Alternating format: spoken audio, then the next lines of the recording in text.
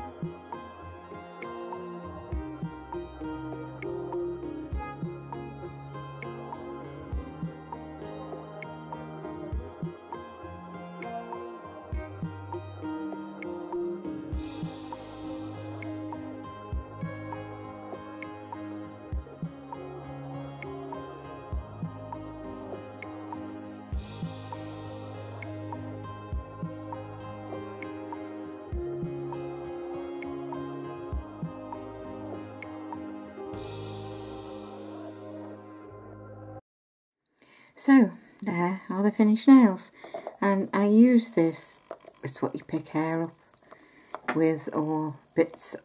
And it's great, just as, as you can see, taking uh, the excess off the stamper instead of using acetone. Uh, but this stamp with the scroll work is beautiful.